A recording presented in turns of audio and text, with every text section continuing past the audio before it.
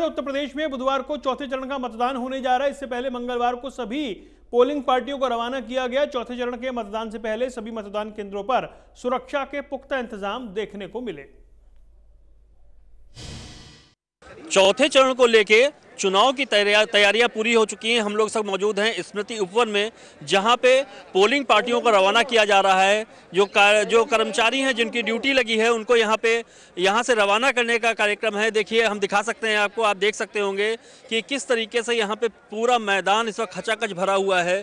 लखनऊ की जो नौ विधानसभा जो क्षेत्र हैं उसके जितने भी पोलिंग बूथ हैं जितने भी लोग हैं जो इस वक्त ड्यूटी पर रहेंगे वो सब यहीं से रवाना करे जा रहे हैं। लोग सुबह से यहाँ पर जमावड़ा लगा लगा हुआ है।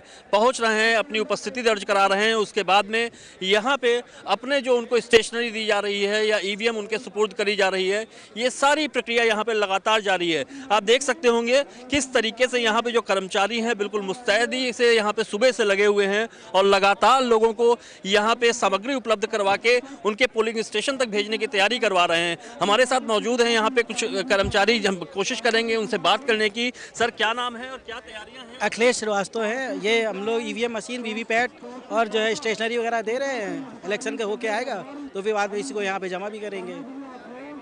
देखिए किस तरीके से यहाँ पे सभी लोग अपनी ड्यूटी को लेके खासे चौकन्ना है। अपनी जो, उनका जो कार्य है, उसको वो सुचारू रूप से जारी रहे। इसको लेके लगातार उनकी कवायद जारी है। सुबह से ये कार्यक्रम जारी है और जब तक कि ये पोलिंग कराने के बाद इसको जमा वापस नहीं कर देते, तब तक उनकी ज़िम्मेदारी पे रहेगी ई हो या वीवीपैट मशीन हो या जो भी सामग्री उनको दी जा रही है, उनको एक एक चीज़ का हिसाब भी देना होता है कि किस तरीके से कितनी चीज़ें रहीं, कितने मेरी स्टेशनरी खर्च हुई। हर चीज़ का उनका हिसाब देना होता है। आप लोग देखिए यहाँ पे अपने कलेक्शन लेके आए हैं और रवाना हो रहे हैं अपनी पोलिंग बूथ की ओर। रवाना होंगे। सर आप किधर क्या नाम है सर आपका? दुर्गा प्रसाद। दुर्गा प्रसाद जी क्या तैयारी है किस आज किधर आपको रवाना होना है? हमको लालबाग इंटर कॉलेज जाना है। Girls college. Lalbagh girls college में जाना है। आप इससे पहले भी कई चुनाव देख चुके होंगे। क्या लग रहा है कि कितना ये जिस तरीके से आप लोगों को यहाँ पे चीज़ें मिल रही हैं सब सुचारू हैं सामान्य हैं आप लोगों को चेक कर रहे हैं हम लोग। उसी को चेक कर रहे हैं। पहले से तो काफ़ी सही है। काफ़ी से काफ़ी मैनेज है पहले से। और मतलब सिस्टमेटिक है। उसमें बहुत ज़्यादा परेशानी नहीं हुई। और दूसरा मोबाइल होने की वजह से थोड़ा सा अप्रोच भी आसान हो गई। टेक्नोलॉजी है टेक्नोलॉजी बढ़ रही है ऐसे सुविधाएँ भी बढ़ रही हैं तो आसानी हो रही है लोगों को।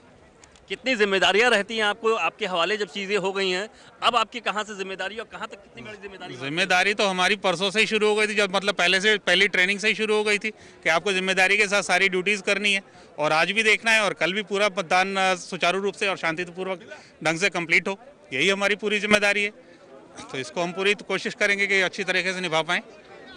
देखिए, किस तरीके से जिम्मेदारियाँ हैं, इस बात की जानकारी भी है, चेहरे पे मुस्कुराहट भी है कि उनको मालूम है, वो एक बड़े आयोजन का हिस्सा होने जा रहे हैं। जो मतदान का जो दिन है, वो कल है।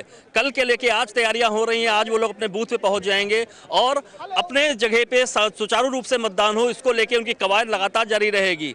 तो देखना होगा कि कल जो मत प्रतिशत है, जो लोग हैं, वो वोट डालने किस तरीके से निकल रहे हैं, क्योंकि तैयारियाँ भरपूर हैं, तैयारियाँ पूरी हैं। सरकार की ओर से ऐसी कोई भी चीज़ नहीं है, निर्वाचन आयोग ने ऐसी कोई चीज़ नहीं छोड़ी है, जिसकी वजह से मतदान प्रभावित हो। लोगों को लगातार जो यहाँ पे लोग हैं, वो अपने पोलिंग स्टेशन की ओर रवाना हो रहे हैं। कैमरा पर्सन सलीम के साथ अमित पाठक एम न्यूज़, लखनऊ।